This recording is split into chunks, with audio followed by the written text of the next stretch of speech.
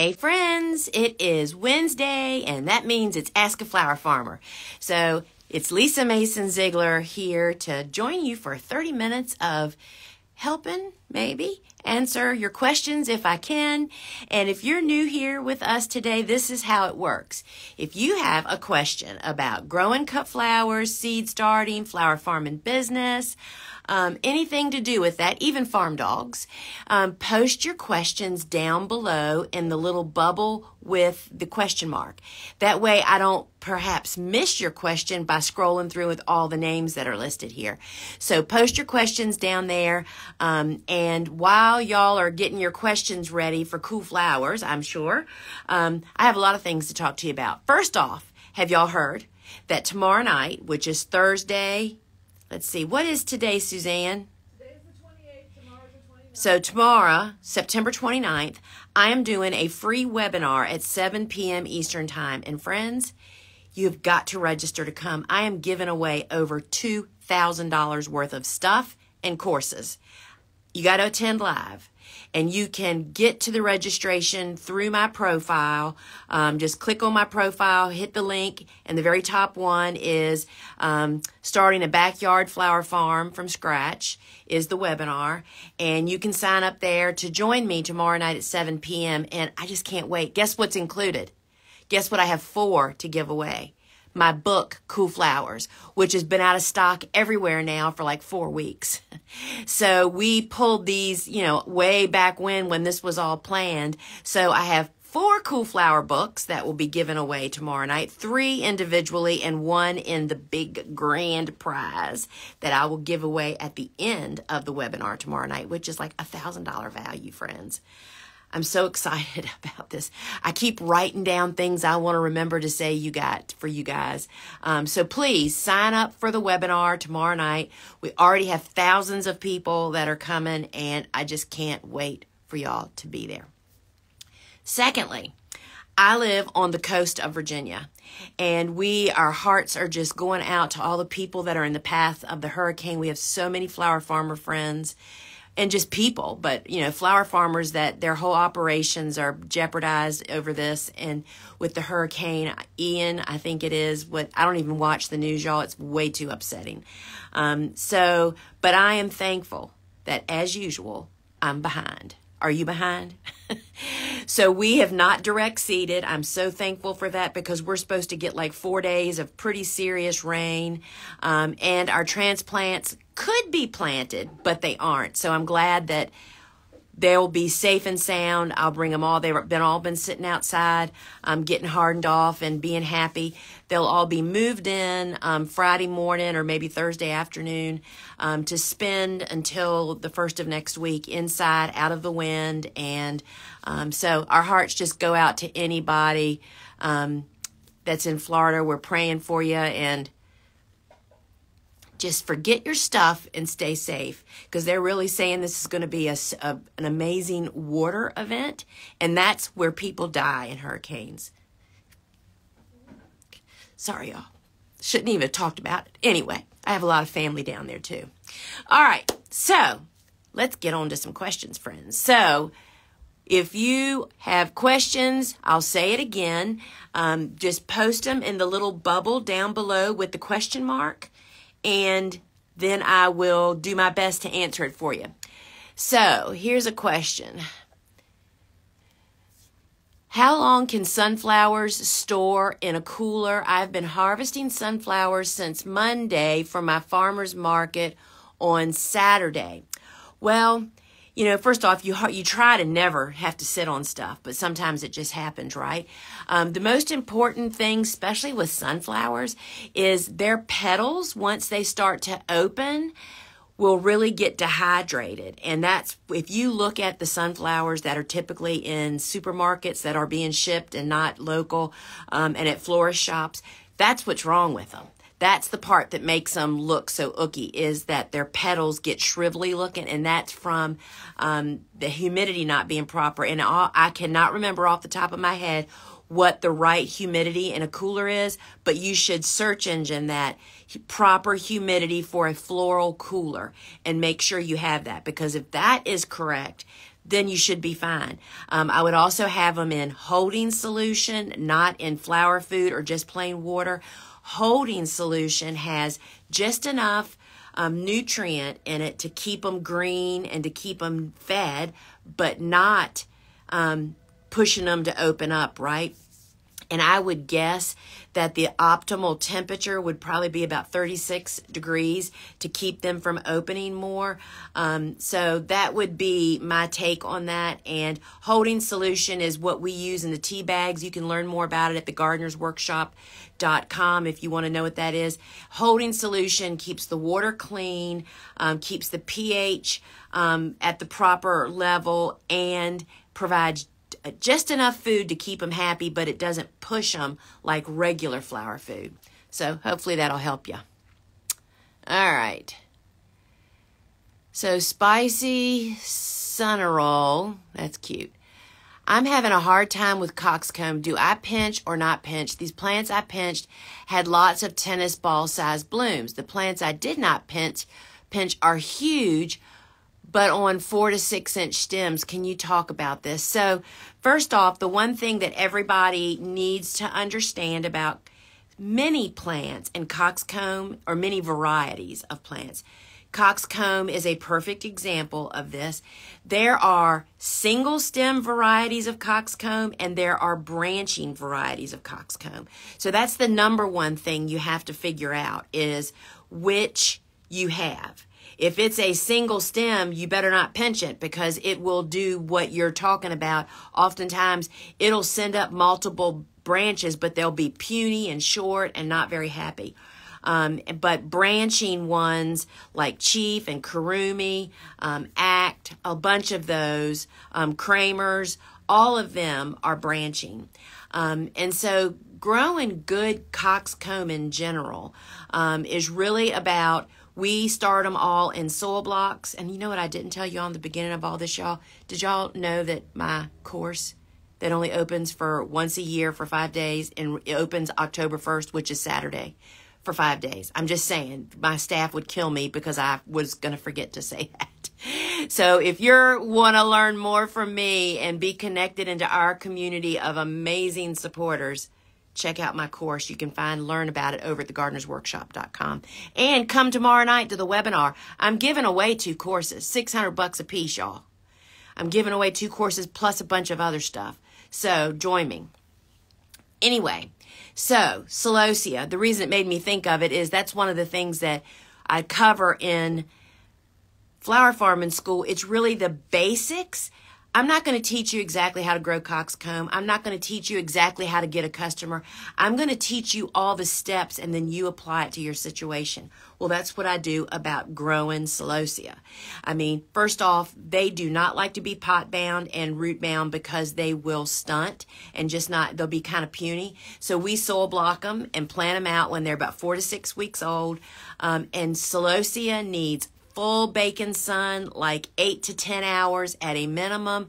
Nice fertile soil. We uh, use fertilizer um, when um, we're preparing the soil. And then they like water you know, even though they're very drought tolerant. So why yours one was good and one wasn't, I mean, who knows what that could be.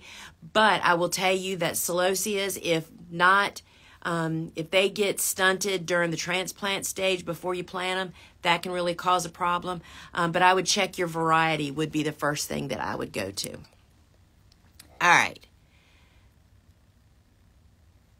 P.S. Mahogany Splendor. I did cut when woody, so there must be there must be um, a question about that. Um, so Mahogany Splendor which is that amazing maroon foliage. It looks like Japanese maple leaves or cannabis, whichever you choose to describe it by. Um, and it's a great fall foliage, right? Um, and you do have to let the stems, I don't, mine don't aren't woody, but the tips are pretty much developed.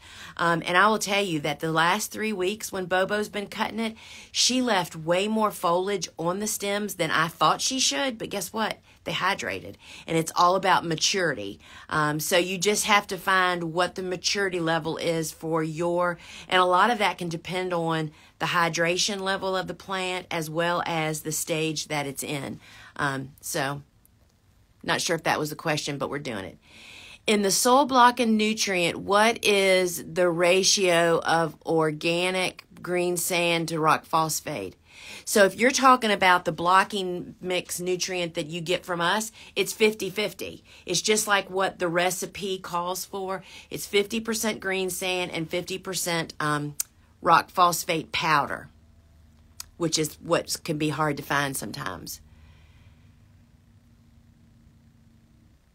Um, Hunt Country. I don't know how to pronounce the name of that P L E C T R A N T H U S, and I can't help you with that because I have never grown it.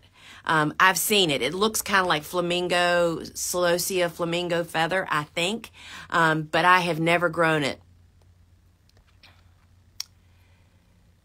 Do you know if the perennial scabiosa fama can be overwintered? I'm in 6B and I have never had a problem overwintering the annual variety. Um, Fama is my sister's favorite scabiosa. I mean, the blue and the white, oh my goodness, are they not beautiful? Um, but we, it de- really depends on your conditions. And it's not so much your winter hardiness, it's the heat, humidity, and disease and drainage situation. Fama is a perennial, but that doesn't mean that it's a long-lived perennial and it may fall victim, like just like we grow delphiniums as hardy annuals down here in the south, but they are big-time perennials up north. It's because our July and August heat and humidity brings disease on and pests to them and kills them. So I can't answer that, but I would say that I do know people that have wintered it over.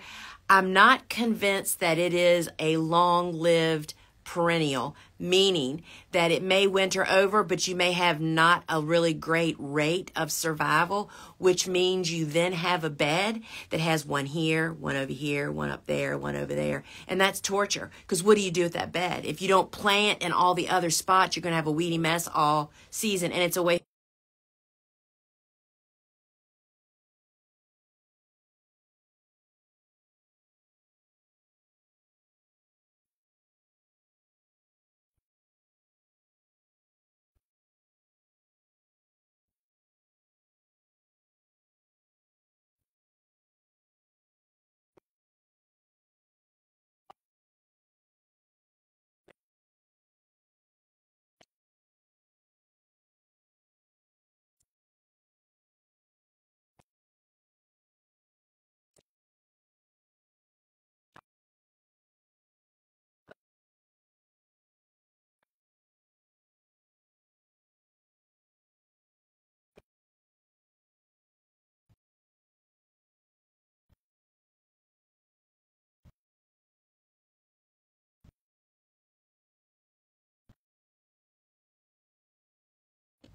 It's not going to let me fix it. Is that better now? Can y'all hear me? The flashing sign is now gone. Is it fixed? Okay. So sorry, y'all. I did not put my phone on Do Not Disturb, and my sweet man called me, and that throws Instagram into a total spaz case. Okay. So for that perennial scabiosa, I would try it, but don't count on it. Um, that's one of the things that as a home gardener, go for it. As a commercial grower, you would never put your eggs in all that basket, all your eggs in that basket, right? All right. Little Meadow Flower Farm had a pretty successful ye- first year selling to our local florist. Congratulations. Any suggestions on how to do storefronts on or patio pots during the off season? How do I get those clients? Well, I, I can't give you any information on that because that's I have no clue. Um, I've not really done it, but I will tell you this: keep your eye on whatever your real ball is. If you want to be a flower farmer and grow flowers, um, then there are. It's so easy to get distracted and get off your path and lose your morale and your momentum and even a lot of money. Because just like being a flower farmer is very specialized meaning you need to have certain stuff and do things a certain way every market i did a hundred years ago try to sell little potted plants at the farmers market. I tried to sell transplants. Not only was it an enormous headache but i didn't make any money. And i would have been better off to have spent that energy ramping up my flower farming business um, in other ways, perhaps, or in a better way, um, than to do that. So stay in between the lanes, stay out of the ditches. And that's what I call kind of ping ponging around. And I understand about wanting to make extra cash, but I don't know that that always works out. You know, if you, you either have to go for it 100% or not. So, all right, let's see here. Mahogany, mine grew to over seven feet. I derailed, but they collapsed. Crowd, serious problem with hydration, boiling water, no cooler. So this is somebody asking about mahogany splendor, and I will tell you that. Um, so our mahogany splendor also grows to about four or five feet. I mean, you do not need many plants of mahogany splendor. Um, it branches. I'd be willing to say 30 to 50 branches on one plant. Um, I plant it, we plant it close, um, but it still is producing a lot of stems.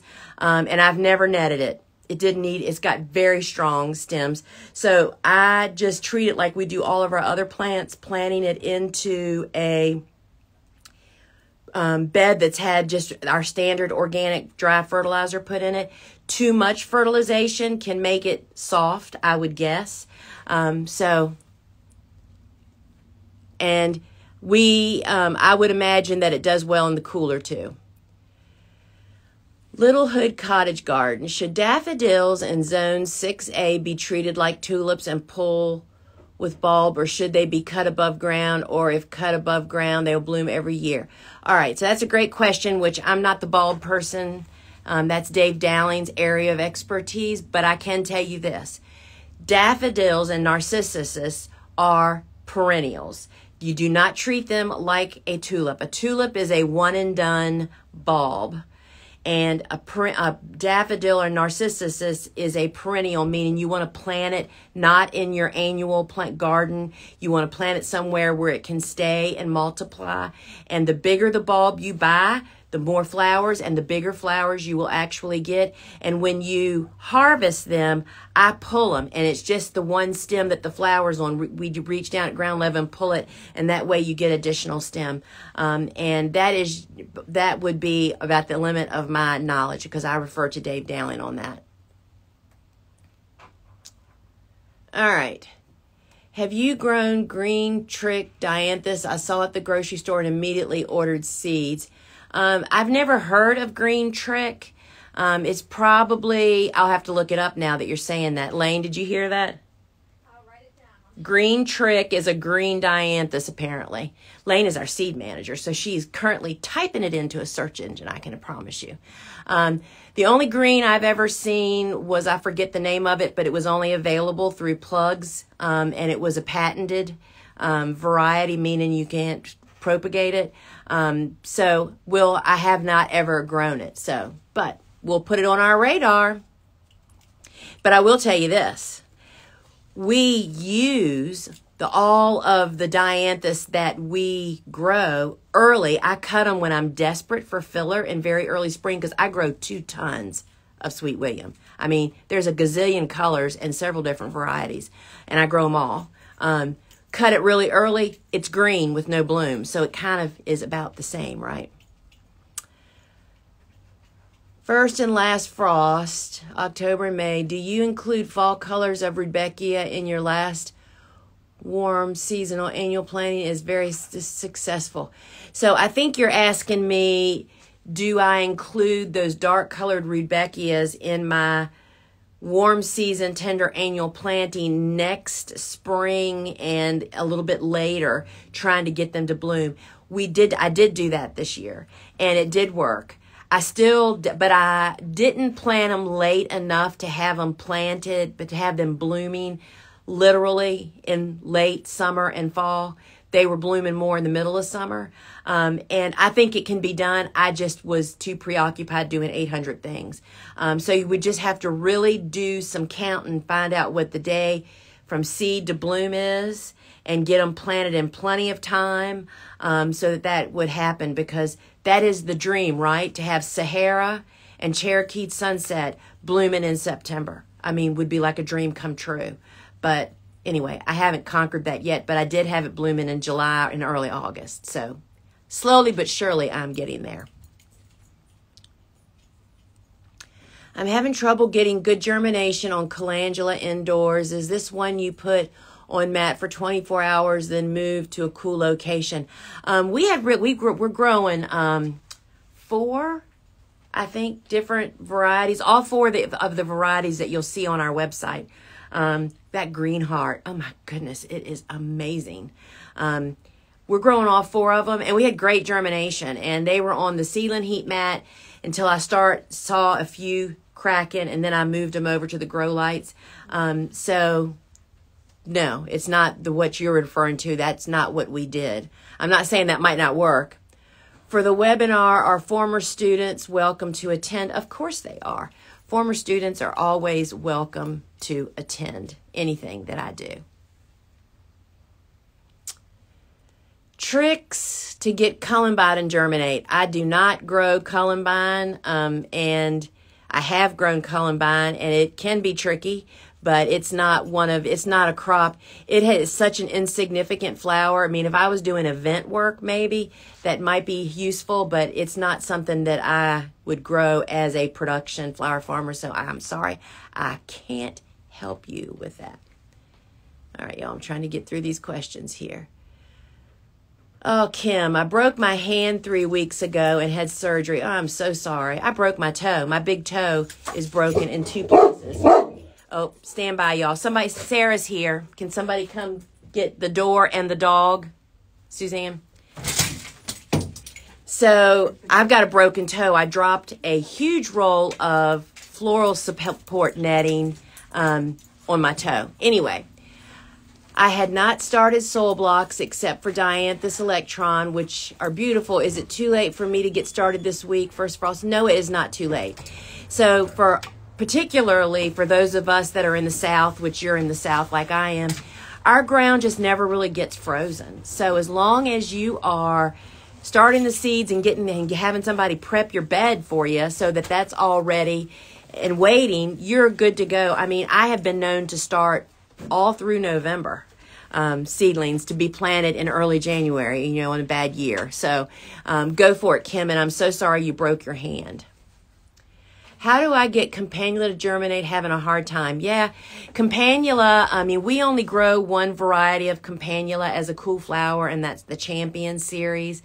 And it, in fact, is not a biennial. It is an, a hardy annual, um, meaning that you can plant it in the fall and it'll bloom in spring. Many campanulas, most campanulas in my experience, are actually biennials and they're um, they have to be planted much earlier than fall to get them to bloom next year. They need that vernalization period.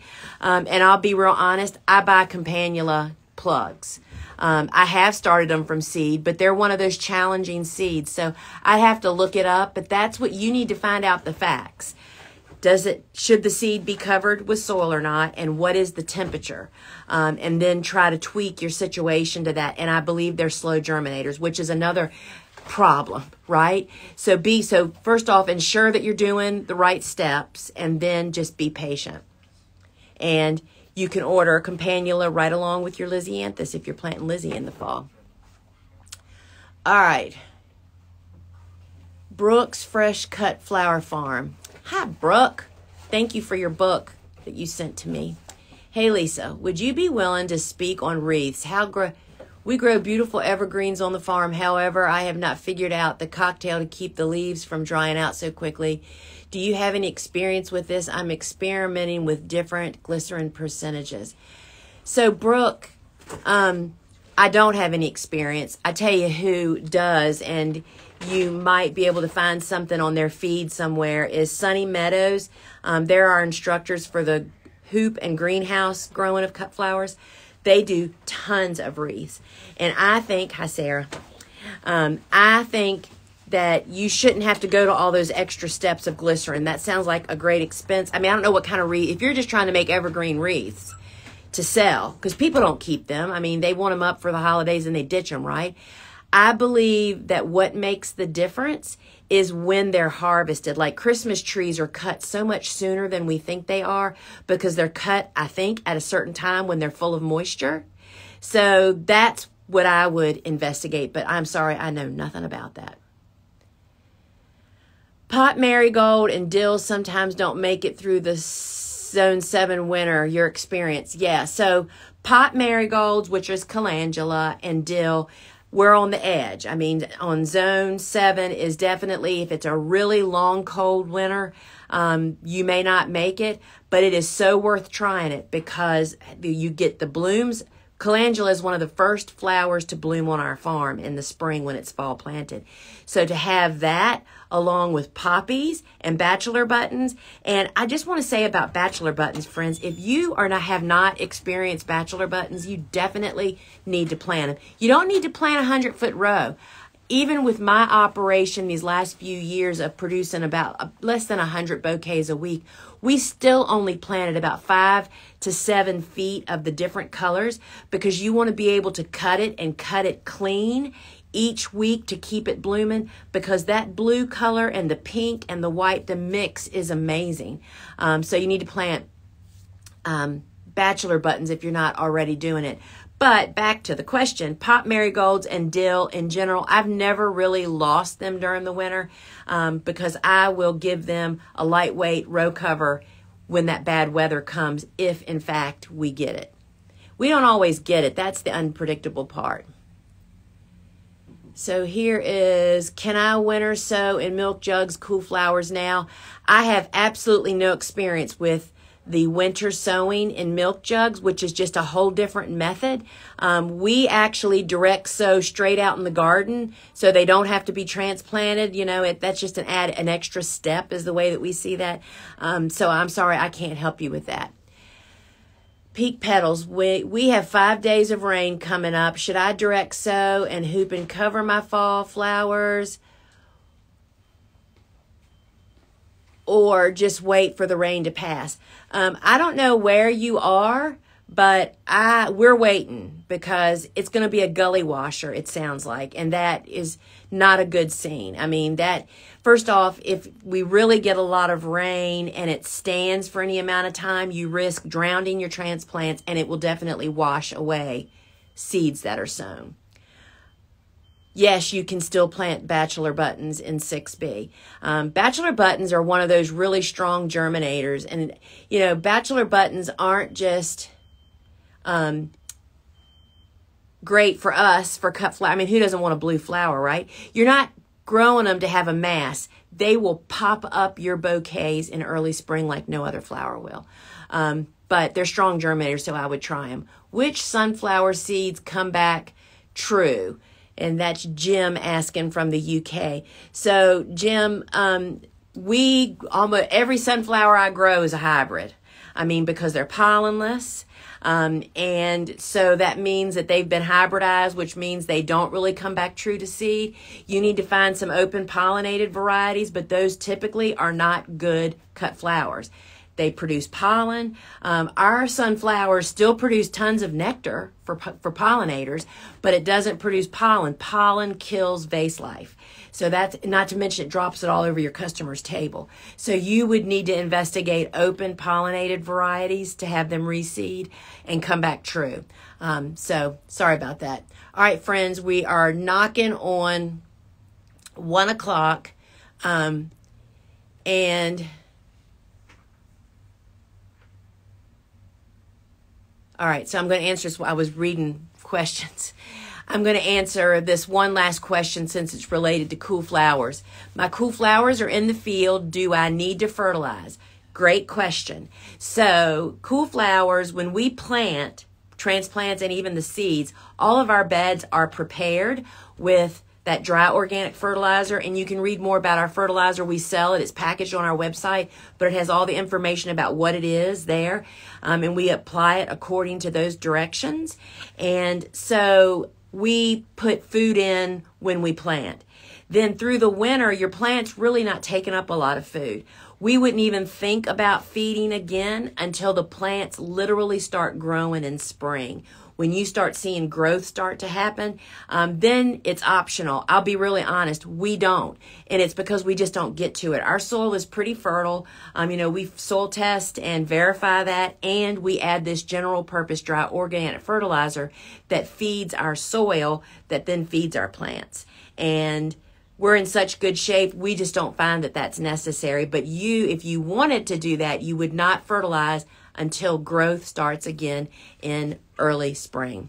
Friends, thank you so much for joining me here today.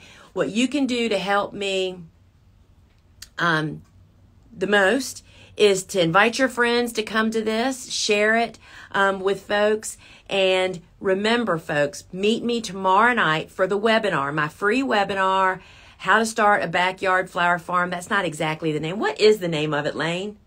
Um, that's it. How to start a backyard flower farm from scratch, which is literally what I did, friends. And I still pretty much, although my backyard's gotten a little bit bigger, that's what I'm still doing today. And I am sharing my experience and I'm hoping to not just inspire you, but when you walk away to feel like you have got some pathways to follow to make your flower farming dream come true. And then if that ain't enough, I'm giving away $2,000 worth of stuff, y'all but you have to be present to win. And I will tell you that we have had an enormous response. And I have no idea if they limit the number of people that can get in. Um, it starts at 7 p.m. Eastern Time. You have to have the link. And the only way to get the link is you go to my profile here in Instagram, click that link, and the very top option that'll come up is to register for this webinar. Um, and we're friends, we're doing that. And we're also going to be offering at that webinar an early bird special um, sign up for my course with a little extra bonus for signing up during the webinar. And I, we haven't ever done anything like this. You know, so how long we've been working on this, friends. And I'm so excited to have all that. They have lined up so much stuff for me to give away, and I just can't wait. And so I will see you tomorrow night, 7 p.m. Tomorrow night, the 29th of September, 7 p.m. Eastern Time. Get the link by going to my profile, following the link, and requesting it. And I will see you there, and I hope I will be sending you one of the many giveaway things that I'm giving. All right, folks, till we meet again, ciao.